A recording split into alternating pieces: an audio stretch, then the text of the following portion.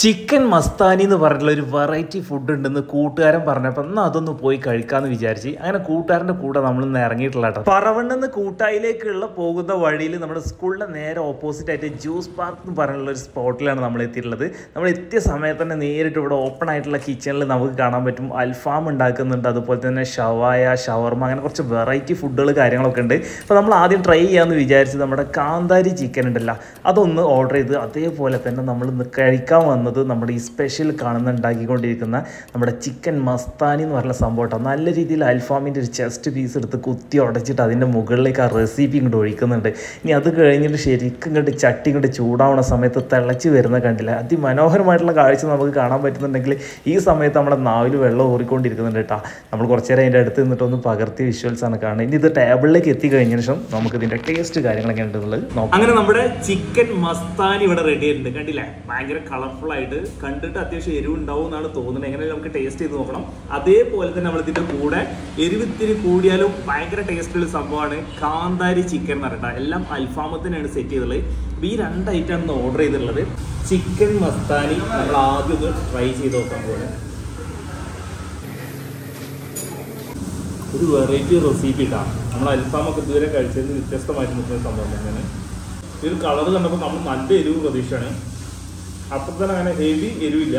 സംഭവം ഒരു വെറൈറ്റി സാധനം തന്നെ ചിക്കൻ മസ്താനി പേര് പോലെ തന്നെ.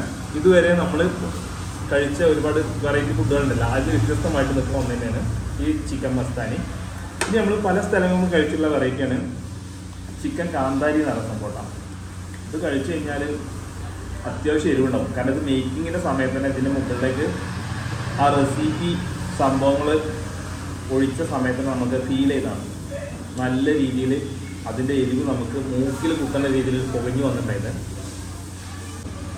ചെറിയ കഷ്ണം കഴിച്ചപ്പോൾ തന്നെ ഭയങ്കര എരിവുണ്ടാവും നമ്മൾ ഈ ഒരു സാധനം ഓർഡർ ചെയ്ത സമയത്ത് തന്നെ ഇവിടെയുള്ളവർ പറഞ്ഞിട്ടുണ്ടായിരുന്നു. അത്യാവശ്യം നല്ല എരിവുണ്ടാവും പറഞ്ഞിട്ടുണ്ടായിരുന്നു.